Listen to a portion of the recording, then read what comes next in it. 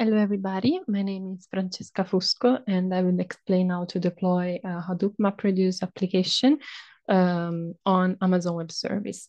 So the first thing I did before, one of the few things I did before uh, creating this video is creating the jar file um, of my project. I created a bucket on Amazon S3 and uh, uh, this bucket is called homework one Francesca. Inside of it, I put a folder jar in which the jar of my project can be found. Uh, moreover, in the same bucket, I also created an input a folder in which the shards that have to be taken by the mappers as an input have been uh, uploaded. Uh, then um, in the in in the in the bucket we can also say see an output directory which is just the result of a previous running of the application. So the first uh, place we want we have to go in is here on uh, on Amazon EMR. And here we can see the previous clusters I, I, I created for my previous attempts. Now we have to do create cluster.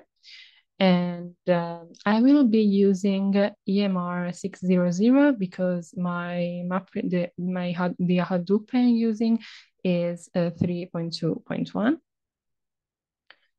Uh, I will disable everything that I don't need. And uh, then I will go on with the default configuration up to now. So the first thing we have to do is creating a cluster. And then I will, in the next step, uh, add a, a, task, a step for this cluster, which is the uh, MapReduce job. So for now, we have, we are creating a cluster. These are default configuration. We just have to change here. I will put the default one as permission here, whereas in uh, EC2 instance profile for Amazon EMR, I will select this voice here so that uh, my application can access the input files it needs and also create the output files. And I will go on with creating the cluster.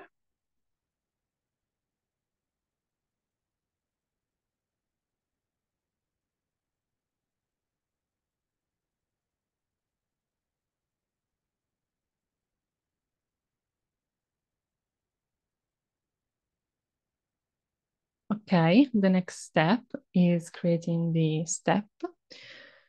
So I will go with add step, custom jar, because I have uploaded the jar of my program. I will call it map red and I will select my jar, which is here.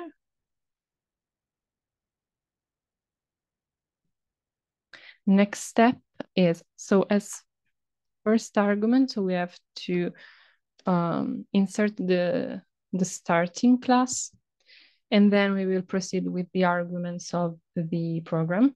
My program has as arguments the input uh, path and the output path. So as input path, I just do this because it's the folder I made I made you it is the folder that I had already created on S3 that I made you see. And then as output path, I will give a name. It has it has to be a, a folder that doesn't exist yet. I will call it output one. So starting function, input path, and output path. And uh, all the paths, in order for it to work, has to have to refer to S3 then if it's if it's fails uh we i don't know it i never changed that so we'll go on with this. And now we have to wait. It can take a little bit of time so i will recover the um the recording later. So now in order to see the process we have to refresh here and also the task if you want to see the state of the task. So I will uh, retake the recording when it completes.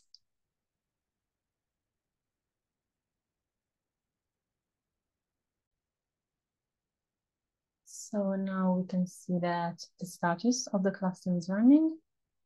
Um, and also obviously the step is running.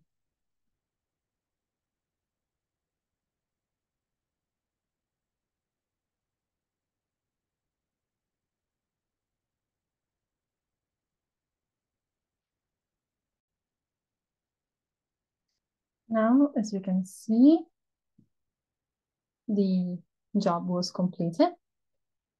So if we go to our bucket and uh, refresh the bucket, I'll just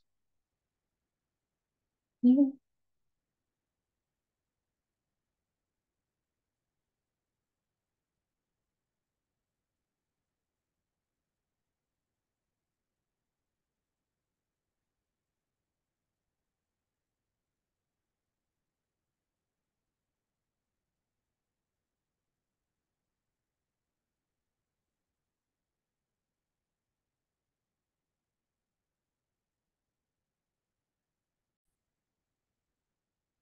So after refreshing the page, um, we can see here the output of the job.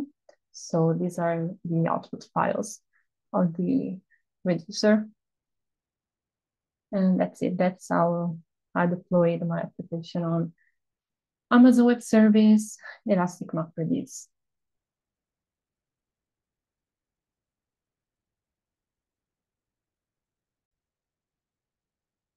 Also, if we click on the output, we download it.